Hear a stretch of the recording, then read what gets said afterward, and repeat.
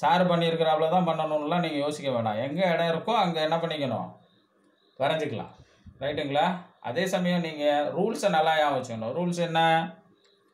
ஒவ்வொரு டைமென்ஷனும் ten MM கேப்பில் இருக்கணும். அது ரூல் படி என்னது? அவுட்லைனுக்கு வெளியில் வர்ற முதல் டைமென்ஷன் டென் எம்எம் அடுத்து எத்தனை வந்தாலும் எயிட் எம்எம் கேப்பில் இருக்கணும். அது மாதிரி இந்த ஆயிரம் மார்க் வந்து ட்ரையாங்கிளாக இருக்கணும் ஷேட் பண்ணியிருக்கணும். இதனோட அளவு நீளம் மூணு எம்எம் அகலம் ஒரு எம்எம்ங்கிறத ஞாபகம் வச்சுக்கோங்க. ரைட்டுங்களா? இதெல்லாம் மனசில் வச்சுக்கிட்டு ரூல் படி செய்யணும். தென் அடுத்தது சிக்ஸ் ஒன் பாருங்கள் என்னென்ன? ரிப்பீட்டட் டைமென்ஷன் இதுவும் இருபது இதுவும் இருபது. அப்போ இது இருபதுனா இதுவும் இருபது தான். ரெண்டு இடத்துல நம்ம டைமென்ஷன் பண்ண வேண்டியதில்லை.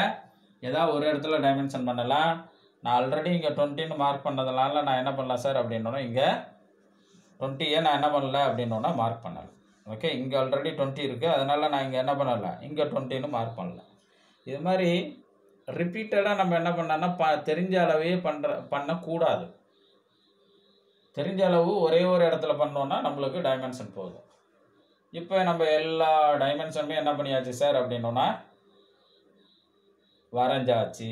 அதாவது தவறான டைமென்ஷனை சரியாகவும் சரியான டைமென்ஷனை அதையும் படத்தில் சேர்த்து என்ன பண்ணிட்டோம் அப்படின்னோன்னா நம்ம வரைஞ்சிட்டோம். இப்போ டிராயிங்கும் வரைஞ்சாச்சு டைமென்ஷனையும் கம்ப்ளீட் பண்ணியாச்சு. அப்போ இதோட சம்பவம் ஓவர் தென் இனிமேலுக்கு நான் உங்களுக்கு ஜென்ரலாக நான் சொல்கிற விஷயங்களை சொல்கிறேன் ஜென்ரலாக ஒரு நாலு விஷயங்களை சொல்லுவேன். என்னென்ன ஜென்ரலாக சொல்லுவேன்? முதல் விஷயம் இந்த கொஸ்டினை நல்லா தெரிஞ்சுக்கணும். கொஸ்டினை நல்லா தெரிஞ்சுக்கணும் அப்படின்னோன்னா பேசிக்ஸை நல்லா தெரிஞ்சுக்கணும். அப்போ பேசிக்ஸ் எல்லாமே லெக்சரில் ஆரம்பத்தில் சொல்லியிருப்பேன். லெக்சர் ஒன் லெக்சர் டூவில் சொல்லியிருப்பேன். அதனால் செம்ம பார்க்குறப்ப நீங்கள் என்ன பண்ணுங்க அப்படின்னோன்னா ஆரம்பத்துலேருந்து பாருங்கள் லெக்சர் ஒன் லெக்சர் டூன்னு லெக்சரை ஆர்டராக பாருங்கள் அப்போ தான் நீங்கள் பேசிக்ஸை தெரிஞ்சுக்க முடியும். தென் அடுத்தது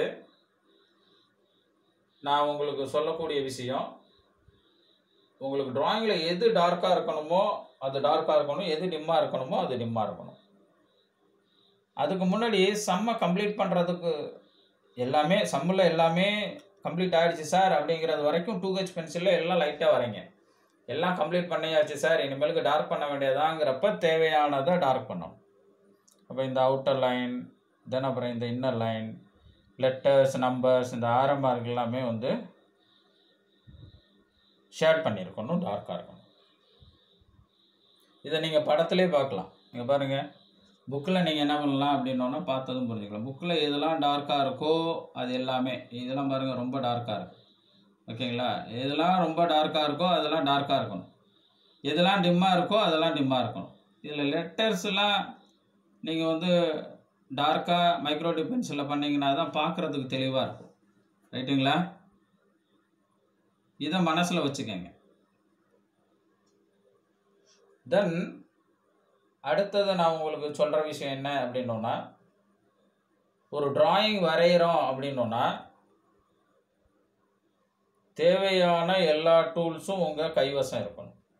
ஒரு டிராயிங் வரைகிறதுக்கு என்னென்ன டூல்ஸ் தேவையோ எல்லா டூல்ஸும் உங்கள் கைவசம் இருக்கணும். அப்போ தான் அந்த டிராயிங்கை உங்களுக்கு சரியான அளவில் வரைய முடியும். அதே சமயம் தெளிவாகவும் வரைய முடியும். தென் அடுத்தது நான் உங்களுக்கு சொல்ல வேண்டிய விஷயம் எக்ஸாம் பாயிண்ட் ஆஃப் வியூ ஒரு விஷயம். உங்களுக்கு எக்ஸாமில் செம்ம கேட்குறாங்க அப்படின்னோன்னா இதே செம்ம கூட ரிப்பீட் ஆகலாம். ரிப்பீட் ஆகிறப்ப என்ன பண்ணுவாங்கன்னா ஜஸ்ட் இந்த டைமென்ஷன் மட்டும் மாற்றுவாங்க இப்போ இருபதுங்கிறத முப்பதாக வரலாம். இந்த ஏழுங்கிறது பத்தாக இருக்கலாம். அறுபது டிகிரிங்கிறது ஐம்பது டிகிரி ஆகலாம். அப்படி வர்றப்ப நீங்கள் என்ன பண்ணணும்? இங்கே என்ன அளவு இருக்கோ அதுக்கு தகுந்தாப்புல நீங்கள் வரையணும். இப்போ முப்பதுனா இந்த அளவு முப்பது எடுக்கணும். இங்கே ஆங்கிள் ஐம்பது டிகிரினா ஐம்பது டிகிரிக்கு தகுந்தாப்புல எடுக்கணும். இப்போ டயா வந்து சிக்ஸ்டீன் அப்படின்னோன்னா அதுக்கு பதிலாக டயா டுவெண்ட்டினா டுவெண்ட்டி எம்எம் சர்க்கிளை வரையணும். இங்கே ஸ்பெரிக்கல் ரேடியஸ் டுவெண்ட்டி அதுக்கு பதிலாக தேர்ட்டின்னு கொடுத்தான்னா நீங்கள் ரேடியஸ் தேர்ட்டி அப்படின்னோன்னா ஆரம் அப்படின்னோன்னா அதே அளவு. அப்போ தேர்ட்டி எம்எம் காம்பஸில் எடுத்து வரையணும். ஜஸ்ட் அளவில் தான் சார் மாற்றுவாங்க வேறு எதுலேயும் மாற்ற மாட்டாங்க. அளவு மாற்றினாங்கன்னா என்ன அளவு அதில் மாற்றிருக்காங்களோ அந்த அளவுக்கு நீங்கள் அந்த டிராயிங்கை வரைஞ்சிங்கன்னா நம்மளுக்கு சமூகம் வரும். அப்படி இல்லைன்னா என்ன சார் அப்படின்னோன்னா இந்த வடிவத்தை மாற்றுவாங்க இந்த வடிவமே மாறி வரும்.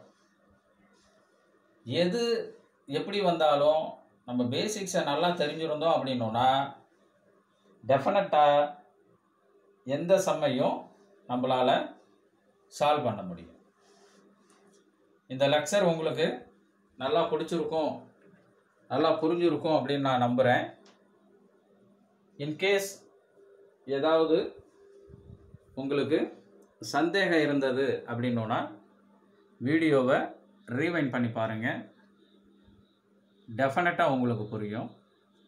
மறுபடியும் நம்ம இன்னொரு லெக்சரில் இன்னொரு சம்மோட மீட் பண்ணுவோம். தேங்க்யூ